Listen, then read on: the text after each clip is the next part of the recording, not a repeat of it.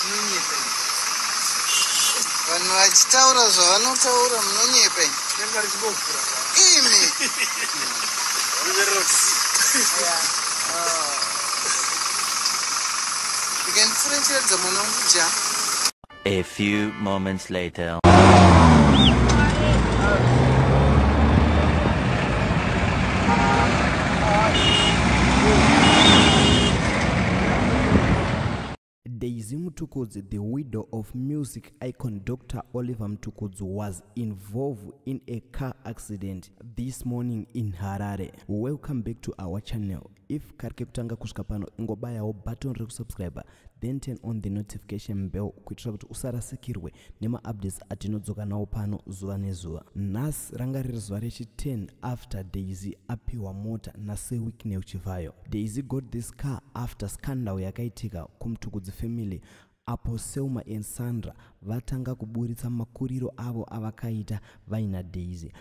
But sewik neuchivayo decided kupa daisy mota achiti iye basa rakaitwa navamtukudzi ihombe kwazvo.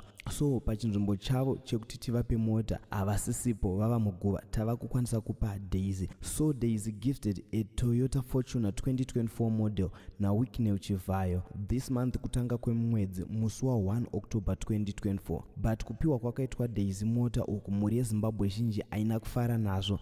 Vachiti apa pashanda politics panyaya yemota iyi dai akapa hake selma osandra nekuti ndo vana vakasara vachiimba vari palegas asi wikney uchivhayo akaita kuda kwake because imari yake. Then mhuri yezimbabwe muzuva ranhasi vamwe vazenge vachipostawo zvakasiyana-siyana vachipawo maonero wavo about accident yasangana iyo nadaisy mutukudzi apo anga ari murodhi kuenda kuharare. Aita accident pawarren park roundabout e, makuseni ezuva ranhasi thursday 10 october 2024 around kuma9 am apo aroverwa mota yake kuleft side iyo inova fortuna nyowani yakapiwa nasewik neuchivhayo ikafonyoka. So vanhu vazhinji vari kuti tsvatuwaro zvamuwana zvinhu izvi zvanga zvisina kuchena nekuti haungati waikura uchiitira vana utsinye nawo wopiwa mota pamusoro pazvo.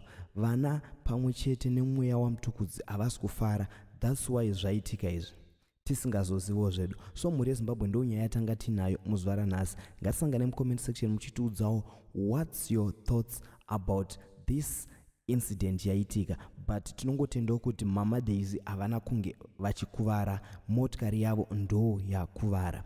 I think sewiknewo vachazongotorawo mota vogadzirisa kana kuti ivo mama daisy vachangonorovesawo mota ichigadziriswa. Panenge pakaipa gaya kupiwa mota nemusi wa1 then nemusi wa10 only 10 days wobva waita tsaona nayo. Mhuri yezimbabwe ngatisangane mucomment section uye tapedza kusangana mucomment section ngatisangane panyaya inotevera